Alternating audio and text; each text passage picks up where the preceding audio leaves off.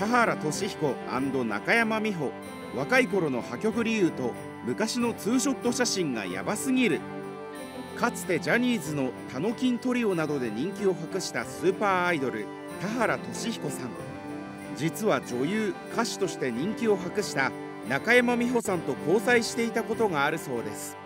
今回は田原俊彦さんと中山美穂さんの交際破局エピソードについて調査しました。付き合うまでの馴れ初めは。田原俊彦さんは高校1年生だった1976年にジャニーズ事務所に入所し1978年にテレビ初出演。1979年10月から半年にわたって3年 B 組金八先生にレギュラー出演し共演した近藤正彦さん野村義雄さんと共にタノキントリオの愛称で人気を博しました。1980年には「哀愁デイト」で歌手デビュー。日本レコード大賞の最優秀新人賞などを受賞し1982年にはプロマイド年間売上実績の男性部門でトップとなるほど名実ともにトップアイドルでした。1988年には自身の主演ドラマ「教師ビンビン物語」が大ヒットとなっていましたよ。一方中山美穂さんは1982年に中学1年生でスカウトされ芸能界入り。1985年に TBS「毎度お騒がせします」で女優デビューを果たすと同作が大ヒットし中山さんも一躍人気者となりました。1985年6月にシングル「C」でアイドル歌手としてデビュー。日本レコード大賞最優秀新人賞を受賞し1986年には前年以上に活躍1987年のブロマイド売上枚数女性部門トップに輝くなどこちらもトップアイドルとして活躍していましたよ。そんな2人の出会いは「オールスターハワイ大旅行団」というバラエティ番組での共演だったとか。1980年代中頃からは後半には2人とも歌手として大ブレイクしていたので歌番組などで共演する機会も多かったのでしょう。もともと中山さんが田原さんのファンだったという情報もありましたよ。昔の衝撃エピソード。2人が交際を始めたのは1988年頃だったと言われています。1989年には反同性を週刊誌が報道。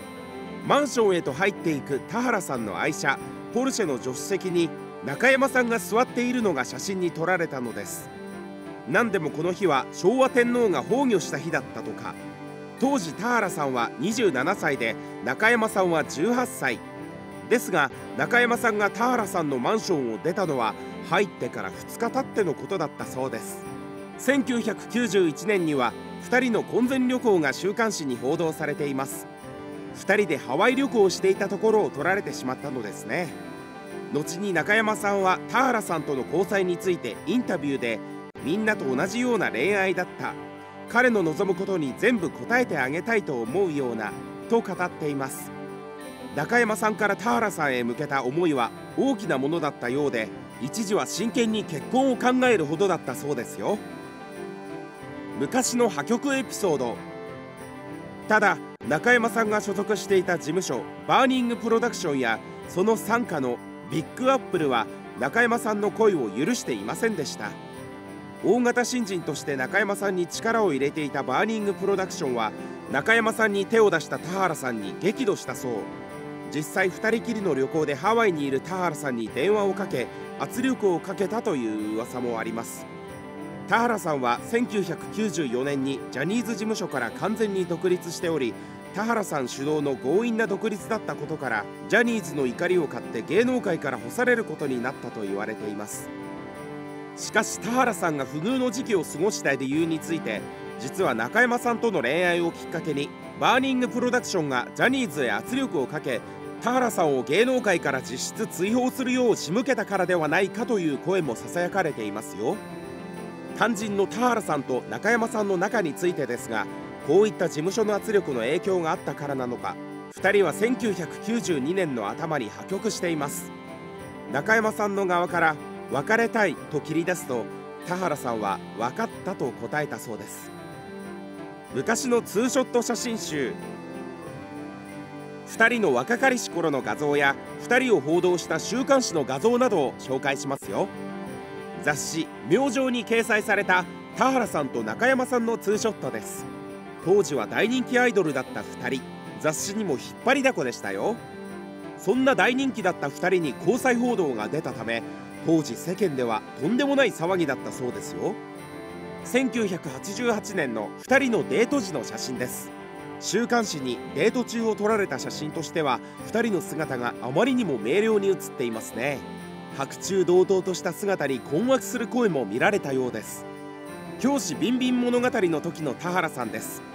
田原さんが主演を務めたビンビンシリーズは1987年から1989年まで断続的に複数の作品が制作され1990年2000年2001年にもスペシャルドラマが制作される人気シリーズとなりました。1986年から1987年のドラマ「セーラー服反逆同盟」の時の中山美穂さんです。毎度お騒がせしますで突っ張り少女を演じた中山さん。その役柄で人気を博したことから以降も似たような役柄を演じることが多くありました。まとめ。今回は田原俊彦さんと中山美穂さんの交際破局エピソードについての紹介でした。アイドルの恋愛というものは今も昔も大変なものなのですね。